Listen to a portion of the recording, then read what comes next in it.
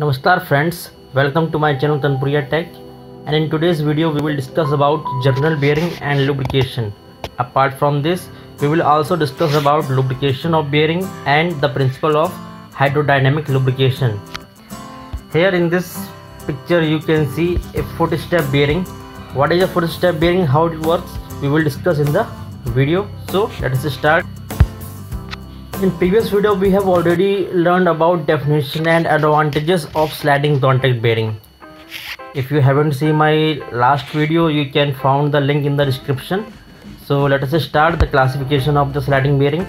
The sliding bearing is classified in three types. The first is based on type of load. Which type of load is applied on the bearing? Whether it is radial load or whether it is our axial load. The classification is the classification is depends on that type of load the first is radial bearing radial bearing is the in which the bearing in which load is applied in radial direction radial di radial direction में load apply होता है the second type is thrust or axial bearing in which the force is applied in axial or thrust direction and the third one is combination of radial and thrust bearing the second type of classification is based on based on the type of lubrication. So there are three types of lubrication. The first one is thick film lubrication. Second is thin film or boundary lubrication. And the third one is zero film lubrication. The third based on classification is lubrication mechanism. So lubrication mechanism it is defined by five types. First is hydrodynamic lubricated bearings. Second is hydrostatic third is elasto hydrodynamic lubricated bearing. Fourth one is boundary lubricated bearing. This is the same one as in the previous classification. This thing and this thing is almost same value. And the fifth is solid film lubrication. So what are these type of bearings and how they works and what they looks like we will discuss the first let us talk about based on type of load carried we have already discussed about what is radial or thrust bearing in previous video of rolling bearing rolling contact bearing start from the second type that is thrust bearing thrust bearing को दो type में divide किया गया है it is divide into two types the first one is foot step और pivot bearing pivot bearing foot step bearing क्या होती है हमने आपको पहली पिक्चर में दिखाया था वीडियो स्टार्टिंग दिखाया था तो ये वो डायग्राम है फुट स्टेप बेयरिंग का। और फुट स्टेप बेयरिंग क्या होती है? इन फुट स्टेप बेयरिंग में in this the end of the shaft remains in contact with the bearing जो शाफ्ट का एंड पॉइंट होता है, वो क्या होता है? बेयरिंग के कॉन्टैक्ट में रहता है। इसका एक डायग्राम है आपको हम दिखाना चाहेंगे। ये है। तो इस डायग्राम में क्या है? ये हमारा शाफ्ट है। ये शाफ्ट है। और यहाँ पे बेयरिंग रहती है। तो शाफ्ट का जो एंड पॉइंट है, ये लास्ट वाला एंड पॉइंट है। ये एंड पॉइंट ये बेयरिंग के कॉन्टेक्ट में रहता है। सेकेंड टाइप क्या होता है? थ्रस्ट बेयरिंग का वो होता है कॉलर बेयरिंग कॉलर बेयरिंग क्या होती है? शाफ्ट में एक कॉलर प्रोवाइड कर देते हैं। इसकी डेफिनेशन देखते हैं। एक collar fitted with the shaft remains in contact with the bearing it is also divided into two types the first is single collar bearing the shaft in which single collar is provided, that is called single collar bearing. Here is a diagram. You can see this is a single collar bearing. Only one collar this is our collar only one collar is provided into the shaft that is why it is called single collar bearing. The second type is multicollar bearing. You can assume the diagram. Multiple collars are provided on the shaft. That is why it is called multicollar bearing. The third type is radial thrust bearing. It is a combination of radial and thrust bearing that means it can carry both radial and thrust load. Here the diagram. As you can see in the diagram this is our radial load and this is our axial load. This type of bearing can absorb or can take both type of load. That is why it is called radial thrust bearing. So let us proceed second on the second type. Second type is based on the type of lubrication.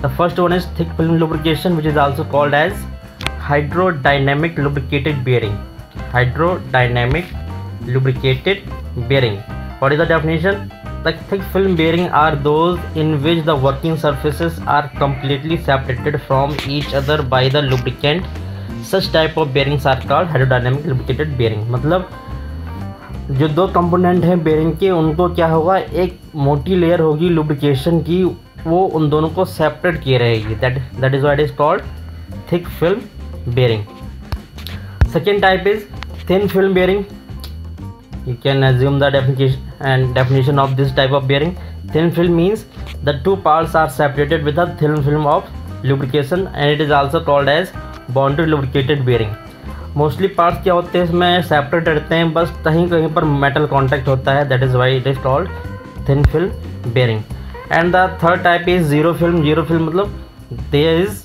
no lubricant present between the parts. That is why it is called zero film bearing.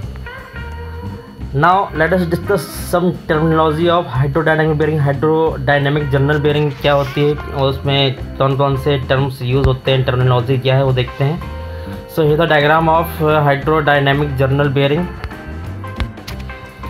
as you can see here is a diagram of hydrodynamic journal bearing this part is called as bearing this central circle is called as journal so what are the meaning of all these notations we will discuss the first thing is diameter clearance diameter clearance uh, it is the difference between the diameters of the bearing and the journal bearing का diameter जो भी है और general diameter जो भी है difference जो भी होगा वो कहलाएगा हमारा diameter clearance second thing is minimum oil thickness as you can see in the diagram here it is written as h naught.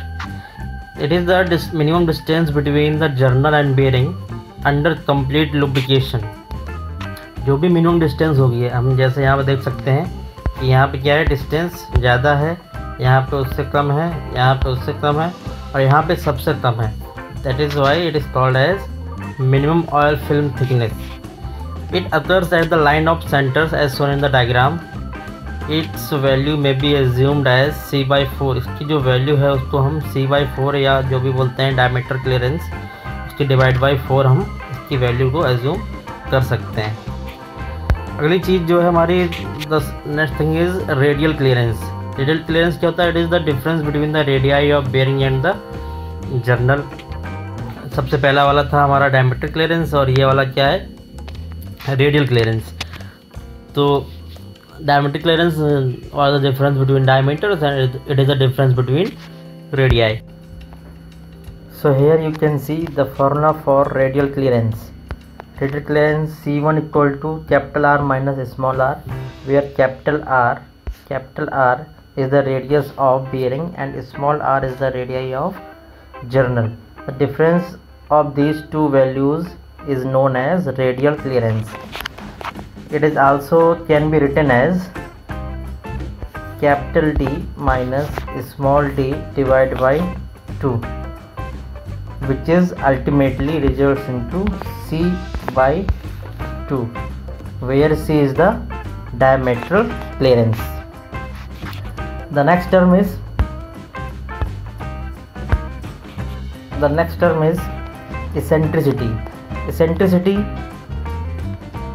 As you can see in the diagram this is called eccentricity. The difference between the O and O dash. What is O? O is the center of journal before applying the load and O dash is the center of journal after application of the load. So as you can see here this is denoted by a small e. Displays center of the bearing the next point is attitude or eccentricity ratio. Eccentricity ratio that means it is the ratio of eccentricity to the radial clearance. It is the ratio of eccentricity to the radial clearance that is c1 small e divided by c1 so its formula can be written as c1 minus h naught c1 minus h naught. What is c1 c1 is the radial clearance. Radial clearance minus h naught. That is our small e as you can see here. Divided by c1 and after that from here c1 can be taken as common from the numerator and then it can be cancelled out or we can say uh, in this uh, we have divided we have divided c1 into this one and c1 into this one. When c1 divided by c1 it is it will be equal to 1 and then h naught upon c1 now we already know that c1 equal to c by 2 that means the c1 can be replaced by c by 2 so ultimately the formula will become ultimately the formula will become like this. This is called eccentricity ratio. Let us proceed. The next thing is based on lubrication mechanism. Classification of the bearing based on lubrication mechanism. So there are five types. The first one is hydrodynamic lubricated bearing which is already discussed. So the second is hydrostatic lubricated bearing. Hydrostatic bearings are those which can support steady load without any relative motion between journal and bearing when there is no motion that condition is known as static condition and यहाँ पर जो भी हमारी bearing है जब वो motion नहीं कर रही होगी उस टाइम पे स्टीडी लोड को जैसे सपोर्ट करेगी जो बेरिंग सपोर्ट करेगी उसको हम क्या बोल रहे हैं उसको हम बोल रहे हैं hydrostatic lubricated bearing and this is achieved by forcing externally pressurize lubricant between the members और कैसे अचीव किया जाता है कि हम बाहर से एक लुब्रिकेंट को बेरिंग के अंदर विथ फोर्स प्रेशर से इंसर्ट करते हैं। इससे क्या होता है? दोनों पार्ट के बीच में सेपरेशन अतर हो जाता है। You can see the diagram of lubricated bearing hydrostatic lubricated bearing and in this bearing you can see a high pressure oil is supplied high pressure oil is supplied to the bearing from this side due to which these two parts these two parts of the bearing in general they are separated with each other. The next bearing is elasto elasto hydrodynamic lubricated bearing. That this lubrication is the phenomena that occurs when a lubricant is introduced between surfaces that are in rolling contact. Whenever there is a rolling contact or there is a point contact or line contact uh, elasto hydrodynamic lubricated bearings are used such as mating gears and rolling bearings. Since the hydrodynamic film is developed due to elastic deflection this is elastic deflection so the parts are known as elastohydrodynamic lubricated bearings what is elastic def- deflection when the force is removed from the object the force returns into its original shape and size that is called elastic deflection so why it is named as elastohydrodynamic lubricated क्योंकि यहाँ पे क्या है elastic deflection की वजह से hydrodynamic film elastic deflection की वजह से हाइड्रोडायनेमिक फ़िल्म क्रिएट हो रही है. That is what is called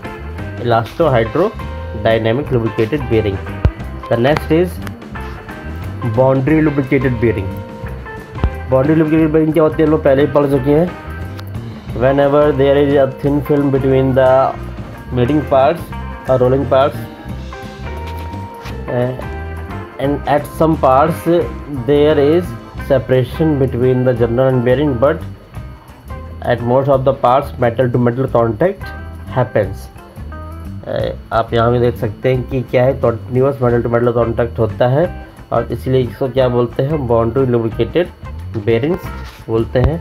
The last and fifth type is solid film lubricated bearing क्या होता है whenever there is a extreme temperature between the bearings in that cases mineral oils और liquid type of lubricants are not suitable in that case solid lubricants are used such as graphite or molybdenum disulfide because they can withstand against the high temperature these type of bearings are commonly used in furnace application trunnion bearings of liquid metal handling system and hot drawing mills तो जहाँ तक भी high temperature होता है तो वहाँ पे क्या होता है हमारे जो लिक्विड लुब्रिकेंट्स होते हैं वो सेटिसफैक्ट्री रिज़ल्ट नहीं देते हैं। तो इसलिए करते क्या है वहाँ पर सॉलिड लुब्रिकेट जैसे ग्रेफाइड और पॉलीबेटम डाइसल्फाइड तो हम लोग यूज़ करते हैं। So this was the our sliding contact bearing and if you want any more knowledge about sliding contact bearing then you can take the references from these three books these are the best books for machine design in India and if you found my video knowledgeable then please like and subscribe the channel. And that's all for the today. Signing off kanpuriya tech. Namaskar and stay home